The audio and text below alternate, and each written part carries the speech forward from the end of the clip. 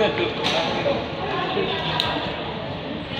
Oto gimana persiapannya Bang? Jessica, gimana Jessica kabarnya Jessica? Jessica.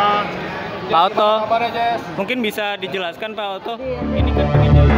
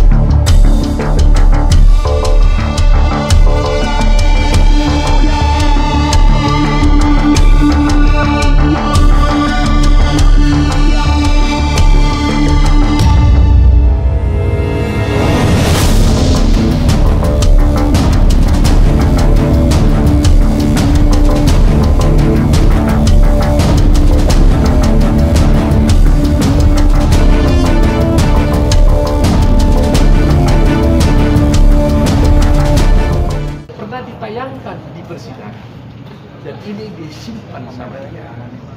Artinya berarti seluruh rangkaian CCTV itu sudah terpotong-potong. Tidak utuh lagi pasalnya. Kalau ada pokoknya rekaman dari jam 6 sampai jam 6, ada yang hilang di dalam. Nah, salah satu di antaranya adalah yang diambil oleh bapaknya yaitu Dermau Salibi.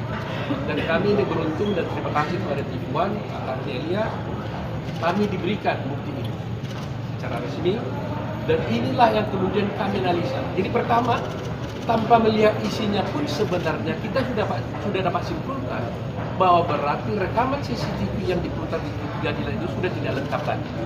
Kalau sudah ada yang terambil secara tidak sah, berarti potensi yang lain itu sudah sudah ada bukti yang.